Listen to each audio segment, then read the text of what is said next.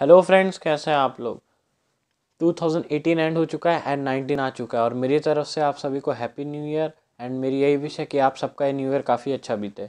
And 2018 में काफ़ी अच्छी अच्छी और हाईटेक और नई मॉडर्न कार्स भी लॉन्च हुई जो कि काफ़ी अच्छा परफॉर्म भी किया जिन्होंने इंडियन मार्केट्स में और जिनकी डिमांड भी अच्छी रही 2018 में। एंड कस्टमर्स को भी वो कार पसंद आई।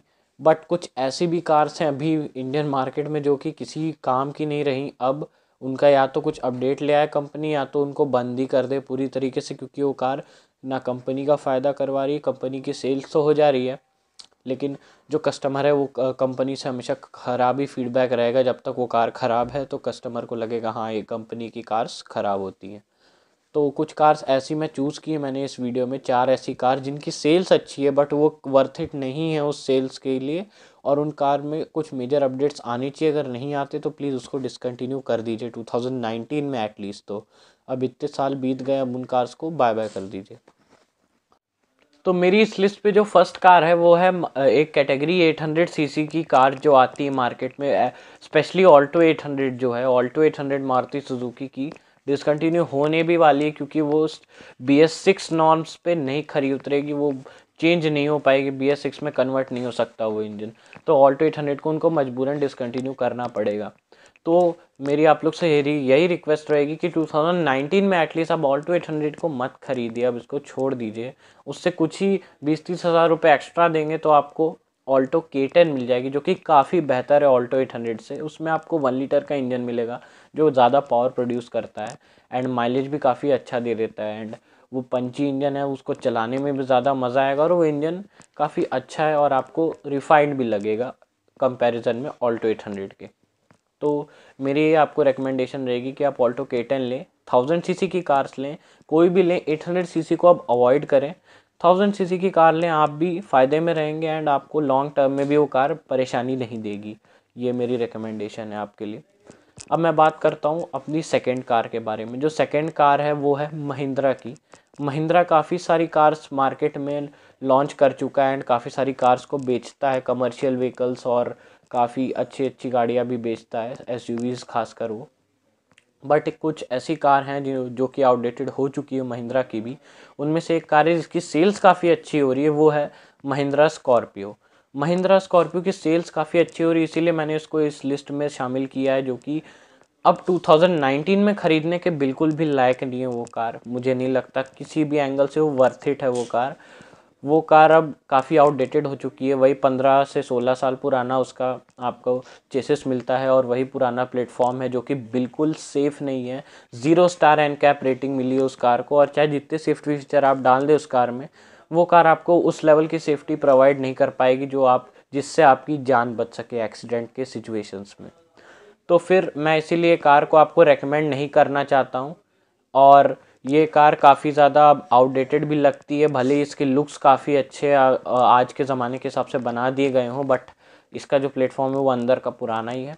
तो ये कार एटलीस्ट 2019 में बिल्कुल आप ना खरीदें। अगर आपको ख़रीदनी है महिंद्रा की कार तो थोड़े पैसे और लगाएँ। Mahindra X U five double O ख़रीद के लाइए। वो इससे बेहतर कार है एंड उसमें आपको काफ़ी अच्छे फीचर्स भी मिल जाएँगे सेफ्टी भी मिल जाएगी एंड पावर भी अच्छी मिल जाएगी। तो अब मैं बात करता हूँ अपनी थर्ड कार के बारे में। जो मेरी थर्ड कार है इस लिस्ट में, वो है मारुति सुजुकी की वैगन आर जो मारुति सुजुकी वैगन आर अभी चल रही है इस मार्केट में, जो इंडियन मार्केट में अभी बिक रही है इस टाइम पे आज के टाइम पे जनवरी थ्री को ये वीडियो रिकॉर्ड हो रहा है। तो जनवरी थ्री के टाइम पे जो अभी वैगन आर बिक रही है, मैं नई वाली वैगन आर की बात नहीं कर रहा, क्योंकि लोग कह सकते हैं कि तुम नई वाली वैगन आर को बोल रहे हो। नई वाली वैगन आर ट्वेंटी थ्री जनवरी को आने की उसकी उम्मीद है बट वो नई वाली खरीदने लायक होगी कि नहीं वो तो देख के बता पाएँगे। बट जो अभी आ रही है वैगनार इस मार्केट में इस वक्त बिक रही है, आपके लिए अवेलेबल है वो वैगनार बिल्कुल भी खरीदने के लायक नहीं 2019 में एटलीस्ट 2019 में तो आपको ये बिल्कुल नहीं खरीदनी चाहिए क्योंकि इसका प्लेटफॉर्म काफ़ी पुराना है, जैसे कि बाकी कार्स का भी है, इसका भी पुराना हो चुका है प्लेटफॉर्म एंड इसमें आपको कोई बहुत अच्छे सेफ्टी फीचर्स स्टैंडर्ड नहीं मिलते हैं। आपको ऑप्शनल सेफ्टी फीचर्स मिलते हैं जो कि लोग नहीं खरीदते अक्सर पैसे बचाने के चक्कर में।